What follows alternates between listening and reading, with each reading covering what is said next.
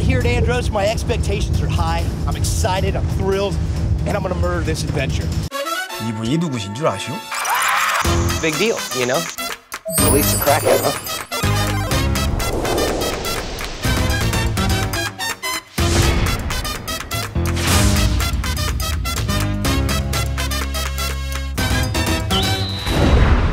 Big deal. Assemble. This challenge is going to be completely different. Out here, I'm dealing with sharks, stingrays, pretty much the complete opposite of what I dealt with in Alabama. That's sick. Yeah, you damn right it's sick, girl. Because I'm the king of the forest. People mistake my confidence for arrogance sometimes. On this challenge, I want to ride a tiger shark. I want to give a bull shark a high five and let him know that I'm Stephen Lee Hall Jr.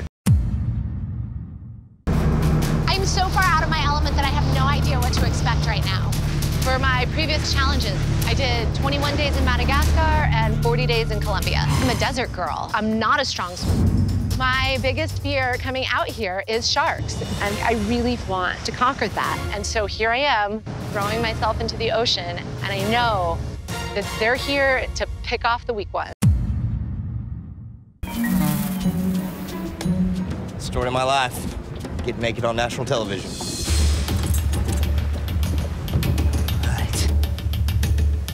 Is amazing. Get naked again! Lots of shells on the bottom. You gotta be really careful of your feet here. Is that Hey! Yeah! Look at this! All-star crew! Oh man, I'm so glad there's somebody else Me out here. too, I'm so glad it's you. High five, dude. It's awesome. Hey, oh, oh, my look at God! I completed my last challenge in the Everglades. I really don't know a whole lot about sharks, aside from the fact that they can kill you with one bite or at least leave you with about 500 stitches. Commander. Hi! Oh my goodness. There's Oh another my naked person. God, another one? Yeah! Who is that? That's Kai.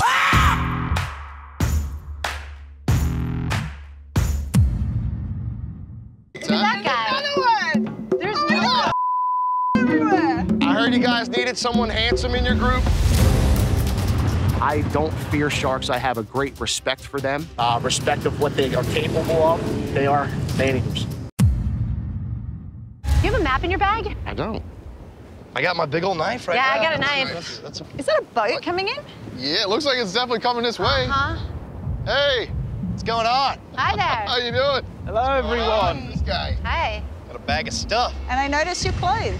I am, yes. My name is Tristan Guttridge. I'm a shark expert. And of course, we're on the island of Andros, and it is beautiful. However, it's pretty barren as well. So you're going to have to use the ocean to sustain yourselves.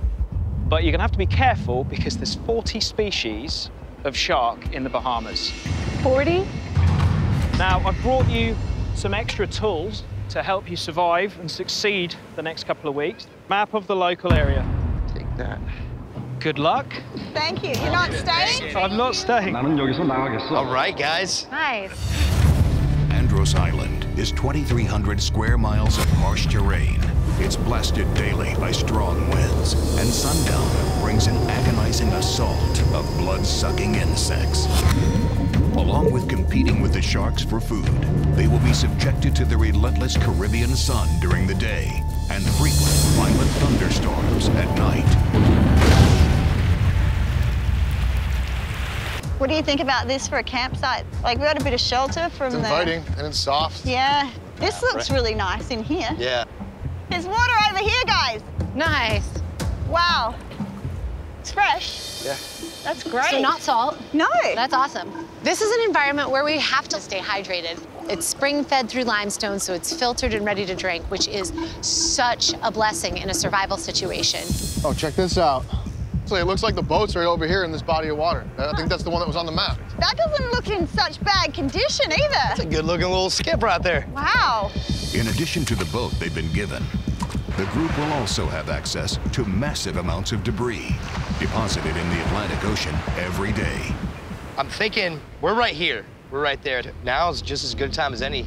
Try out the boat. Try out the boat. We'll get some food. Yeah. Spearfish. Who's? I'm in.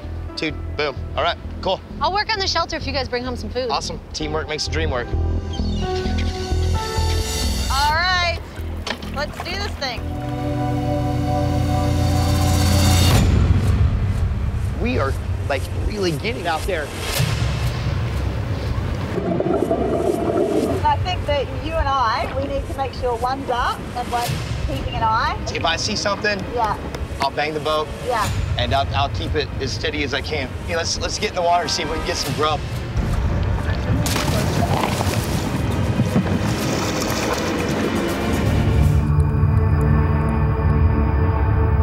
I've had some experience diving in the Keys and stuff like that with sharks. To be naked is insane. You look out at that beautiful teal ocean. It just looks calm and beautiful, like nothing in the world can harm you. Guys, huge reef shark! Get out of the water!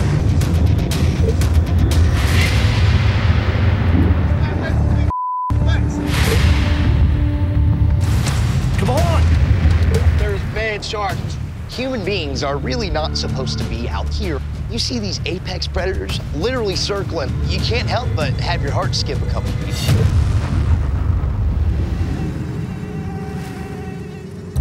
It's starting to get mosquito time.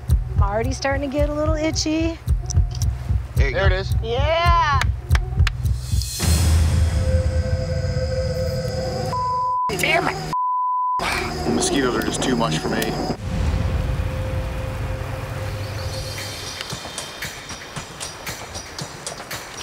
Using a combination of chopped branches, palm leaves, and driftwood, the group spends most of the afternoon constructing a lean-to debris shelter. It's gonna work. I think we're gonna be okay. Looks like it's tide's going out quite a bit right now. Yeah. Um, around the side of the island where there's no wind. Maybe go look for some schools of fish or see if we can find Okay. some lobster or something. But if you guys all want to go as a group, that way if we do enter the water and there's some shadows and sharks, then we'll be able to have each other's back.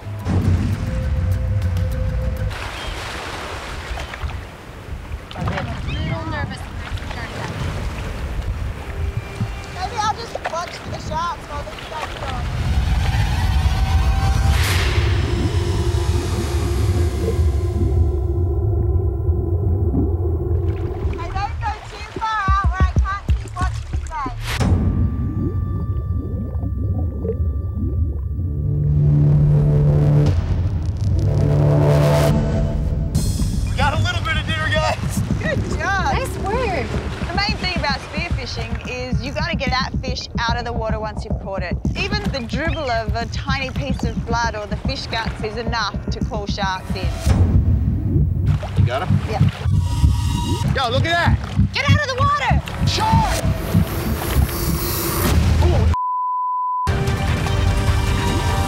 Oh my god, he came right up to his foot. Oh wow. He's looking for that snapper you tagged. I think we should head back to camp like ASAP. Andros Island, man. Yummy yellow-eyed snapper on a stick. Steven is cutting up his first catch. What do you think, Steven? So far, so good? I'm excited, man. We're looking mostly bone free. Be careful here, but Taste delicious. Thank you so much. Morning, day three. I'm looking forward to getting back out there on the water. Uh, hopefully, we get some fish for breakfast. I'm a firm believer that the way you start your morning sets the tone or the pace for the rest of the day. The sun's coming up and everyone's still sleeping. Even though it's nice to have company, honestly, on this challenge, I'm really looking forward to some solo time. You never know what the tide's gonna bring in.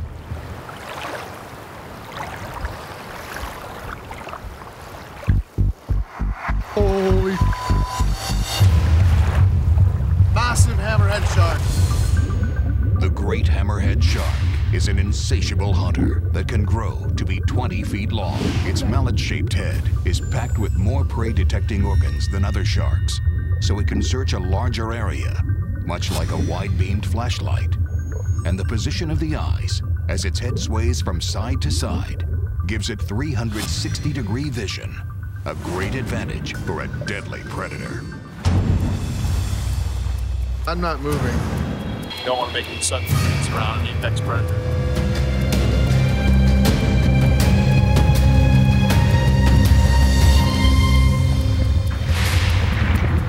This.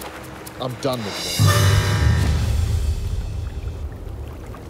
I'm looking for crabs in these little holes at the moment. You can kind of see they have a little bit of red and blue on them. This is a bounty this morning. Like, I've already got three crabs in the space of about five minutes. This is going to be a good score to bring back to camp. We got some brekkie. Yeah, look at There's not even a mouthful of meat in each crab. At most, it's probably the same amount of calories per crab as an M&M, maybe two M&Ms. Living on three M&Ms, four M&Ms a day. Oh, here comes Ryan. Hey, luck? No luck in catching anything. There's all these little sharks around, and they were like swimming like super close to me. 30 seconds after that, 10 foot uh, hammerhead 30 feet away from me. Still like shaking. That was crazy. That was, I, I don't know. I'm just, I don't really care to be in the water after seeing that.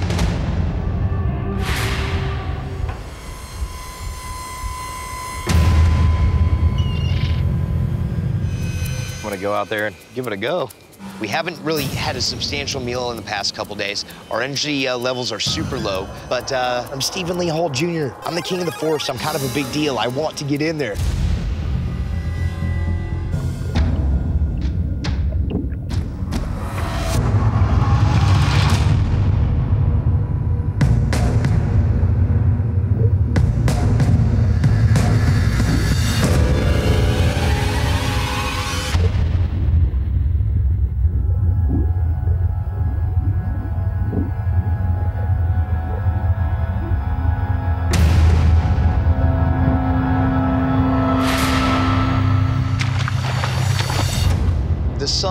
Is relentless out here.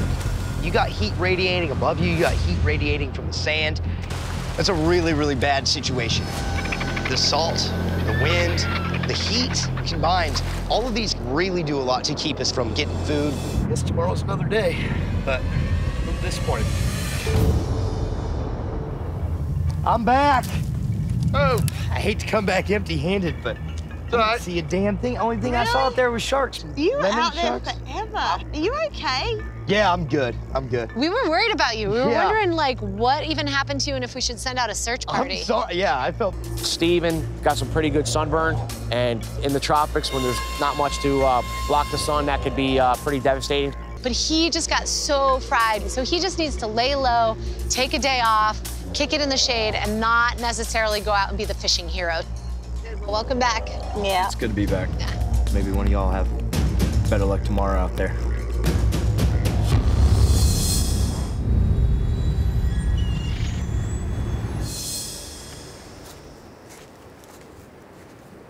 Monofilament. Oh, nice. Is that green rope? It's got Oh, a there's a- hook. Oh, and there's a hook. Well, we found a, a giant bowl of monofilament, No way! and it had a hook. Chris found a fishing line, and he's like a commercial fisherman. So if he can't bring anything out of these waters, then nobody can. We've had very little success in the water. The days that we've had any kind of success, the sharks show up. With our experience and the strength of our team, we should be thriving. And it's not from lack of effort or lack of knowledge. It's just, uh, you know, lack of luck.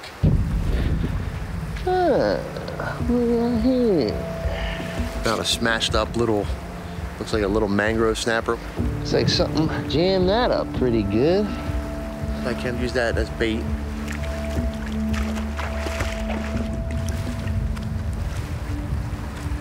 It's been five days since we've had anything substantial to eat. Fatigue is setting in. We're starting to get a little complacent. One of the most frustrating things as a fisherman, the competition with the sharks has been like the biggest pain in the with this fishing line.